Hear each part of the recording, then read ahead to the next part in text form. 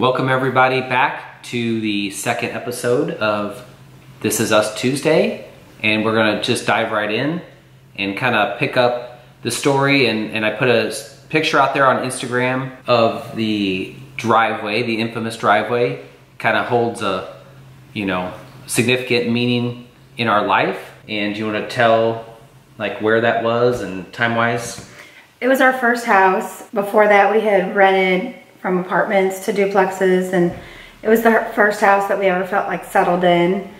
Jay was about seven months old when we moved in there, and Em was like five, five and a half. And then we're gonna pick up the, the story or the events in 2002, so Jay would have been like between a year One and a half, probably. And Emily? Probably six, between six and seven. And Joey not yet born. Um, so we were in the process of actually selling that house um, at that point, and we were getting ready to, to build a new house down the street and move from a two-story to a ranch. And uh, my parents also lived on a different road in the neighborhood. One night back in 2002, and Stephanie got a phone call. I'll let you tell this part. Um, Justin's mom called. She usually called me because she liked me better. And she was real upset, frantic, and I could tell she had been crying. And she asked if they could come over, and I said yes. And we ran outside to our driveway to meet up with them so we could hear what they had to say and stuff. So we met them out in the driveway, and uh, basically, my mom was crying, upset. My dad was with her, and she said, uh, Justin, uh, your brother needs a heart. If he doesn't get one, he's gonna die. You need to do something. Um, you need to save your brother. We were just kind of like blown away. We, two months, about two or three months prior, um, he had a just a normal sinus infection that he didn't treat and just kind of got real run down and it caused damage to his heart, caused it to be enlarged. I guess they call it cardiomyopathy. And so she was basically telling us at this night that he needed $3,000 a month uh, for his anti-rejection medicine for them to even consider him or to get his heart transplant. We were living in that house. We had two cars. We had two car payments, a house payment, um, credit card, probably living beyond our means, and we're building another house. Um, I was working uh, with a major insurance company, and I specialized in helping people with their estate planning, all seniors 65 and up. And Stephanie was a stay-at-home mom and watching the kids. And like I said, we were planning on having our third child. And I was making okay money, uh, but it was all commission based. And you know, I had to go out and sell policies or do investments because uh, I was licensed to do that as well. Um, so I was just under a huge amount of you know financial pressure. And I don't want you to take this as an excuse uh, for anything that happens uh, down the road in the story, but I just wanted to kind of set it up and explain, you know, the situation that we were in and kind of how we felt at the time. You know, it's a time where you, or where I personally, you know, definitely prayed. Um, you know, we're both, um, we're both saved and we both, you know, believe in God. And I definitely prayed, you know, that Jason would get a heart and that he would be healed um, and that you know, he would have a, you know, a long life. He had kids and things like that. Um, but looking back now, to be honest with you, you know, I should have trusted God even more and leaned on, you know, my faith, you know, to, to count on him for, you know, the financial part of it as well. And I didn't do that. I kind of took it upon myself. And at the time I was matched up with a, um, certified estate planner that had his own office. You know, he showed me a lot of different things and a lot of different planning tools with setting up trust and different, you know, corporations and gifts and a lot of advanced type of stuff. Um, and so one of my clients was, you know, a senior and, you know, through her planning that we had already done in the years past, she didn't have any kind of relatives. You know, all of our planning was geared towards you know, setting up that her church would receive the, you know, insurance benefits and things like that upon her passing. And when all of this was going on, you know, I reached out to her and started kind of sharing our my situation and you know, just kind of proposed a plan and said, hey, if you would consider doing this, and, and my proposal was essentially that we would transfer, you know, money that she had in an account that she wasn't, you know, using, um, that she was planning on leaving after her passing, and transferred it into my account. And in exchange for that, I agreed that I would take out a life insurance policy that she had to sign for and, you know, get underwritten for and, um, you know, have her physical taken. And we set up a life insurance policy that was significantly more than the money that I transferred into my account. And the agreement was that if I would make the premiums on her behalf until the policy was either paid in full or until she passed away, you know, it was a way for me in my eyes in that time, you know, I looked at it like I was basically taking a loan from her. So she was completely competent. She knew what was going on. She knew my situation. I had been, you know, dealing with her on a personal level for, you know, several years prior to this. And so we made that agreement and, you know, that's that's how I viewed it at that time.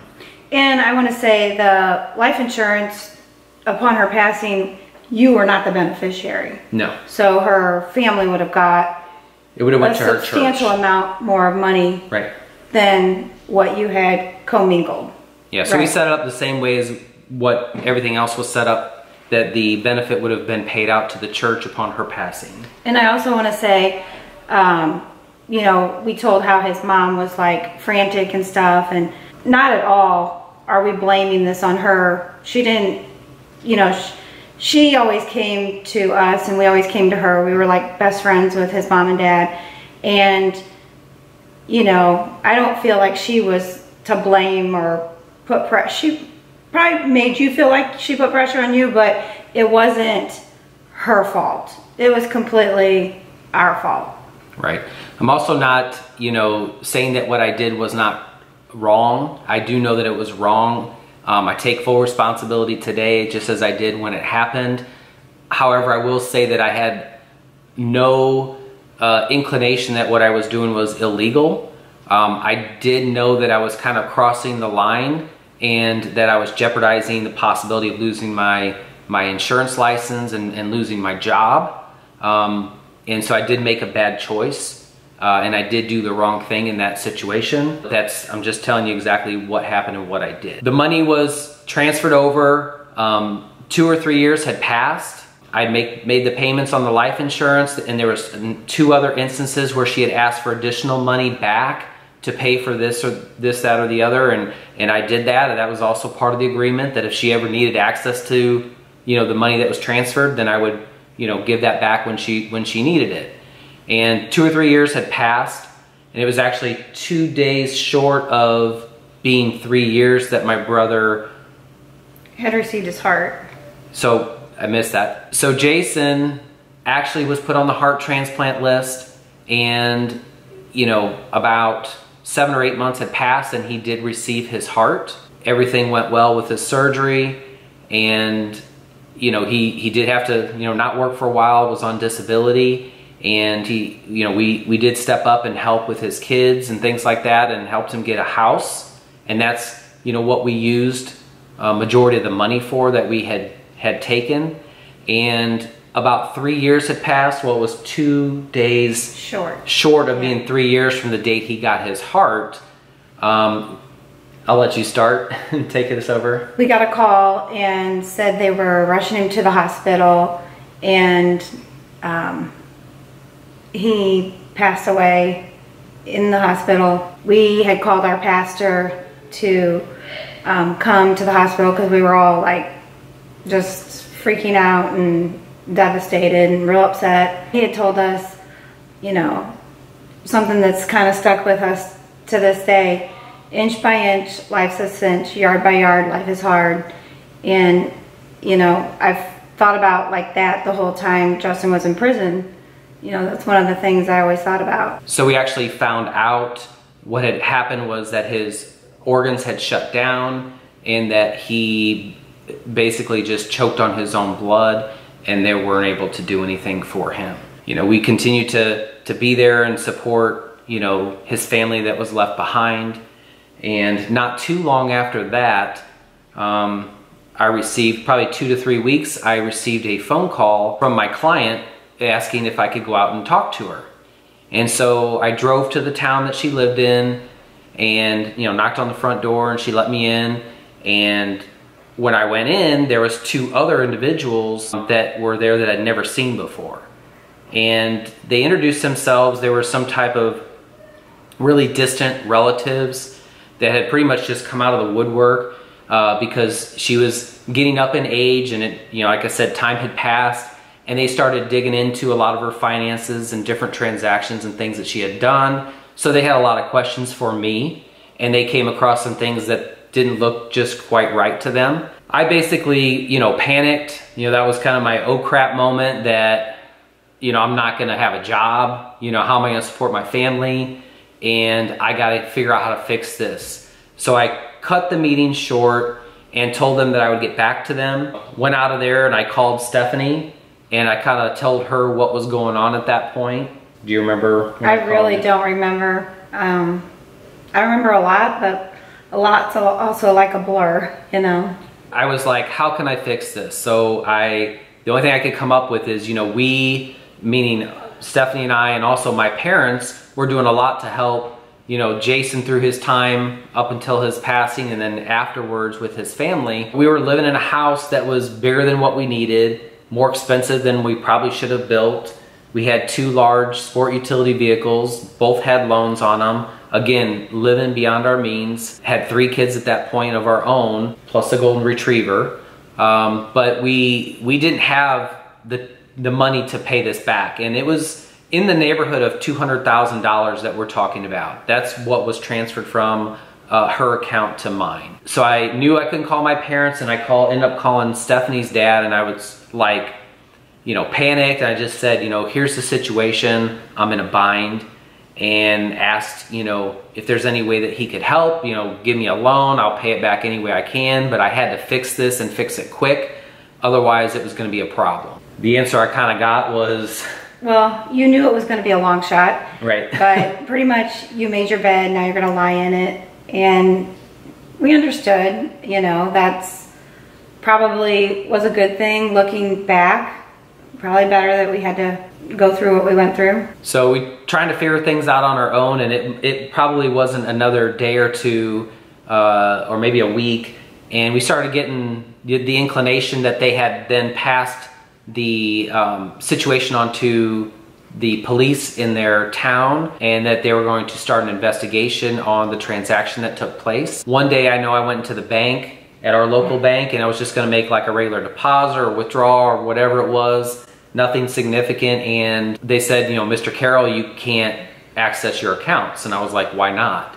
And we found out that they froze all of our bank accounts. And so that was just one more thing that we had to deal with. We found out that they were doing an investigation and that they were talking about bringing charges against not just me, but Stephanie as well. And they basically said since her name was on a bank account and she was married to me that, you know, that she was uh, also accountable. Stephanie had never been in contact with this person, didn't know exactly what had all transpired. She'd never talked to the person by phone or in person. She'd never been to the town that this happened in, but she was still being, you know, charged as well. So we had to get attorneys. Um, we had to get two separate attorneys and back when this happened, we neither one had ever been in trouble, never had to have an attorney represent us. So it was like, how do you even know what kind of attorney to contact? And come to find out, the attorneys we had were blue collar uh, criminal attorneys. We were told after this that we should have had like white collar uh, attorneys, but I don't know if it would have made a difference or not. We each had to pay $10,000 to two attorneys to represent us. And we were doing everything to get our hands on whatever money we could as far as to take care of our legal stuff. I mean, we had to scrape together everything and figure it out. I think we are in year 2006, I believe. Mm -hmm. July uh, 19th, turning to July 20th. And it would have been uh, Jay's sixth, sixth birthday. Sixth birthday. And we are, you know, we hired the attorneys you know, we were told that charges were going to be uh, brought against us. Um, there was a brand new prosecutor that was trying to make a name for herself in this town. They were coming after us, and Well, yeah, and we were told that they were going to let us turn ourselves in. Since we had attorneys, they were going to make sure that uh, we were going to be able to turn ourselves in and not get just arrested, you know.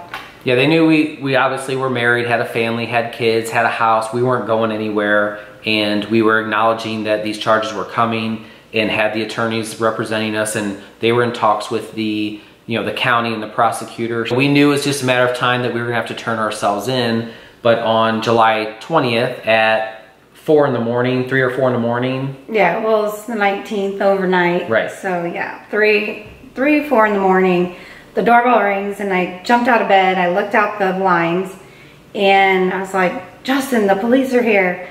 And he was like, oh, crap. And he had to get up, but before he got out of bed, I ran to the front door. Big mistake. I should have went pee first. I ran to the front door and opened it because I didn't want them to keep ringing the doorbell and wake the kids up. They handcuffed me right away. And I asked, can I go pee? And they were like, no. And back then I didn't understand, you know, why I couldn't go to the bathroom real quick. But now I get it, you know. And I had hurried up and grabbed a phone and called my parents because they lived right down the street and they were able to come down uh, really quickly in the middle of the night to sit with the kids and we were both basically being put in the back of the police car to be taken to the local jail. And it was in the back of the police car that one of the police officers made a comment. They were like wow you guys are really a big deal. And i was like what are you talking about? And he said we've never seen anybody with a bail so high. You each have a million dollars of bail for each of you um, in our system and that's why we came in the middle of the night to come pick you up. This has been like i said crazy part of our life and it's really just getting started. I want to thank everybody for coming back to listen to the part two and we will pick this up uh, next week on tuesday.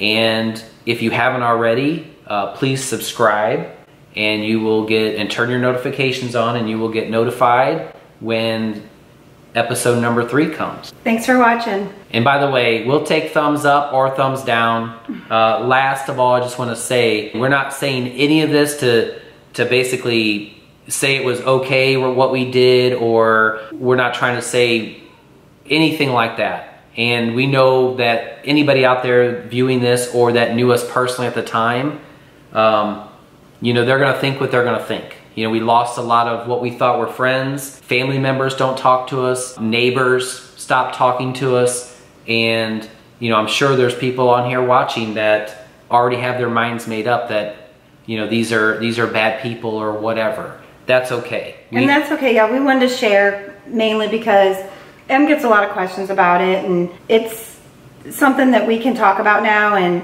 let you guys know like what we went through. And if you have questions, we'll probably do like a Q&A. So if you want to leave your questions below, Go ahead and leave your questions in the comment section and we will start working on a Q&A uh, coming up as well. Yep. Well, thanks everybody. When life feels lemons, just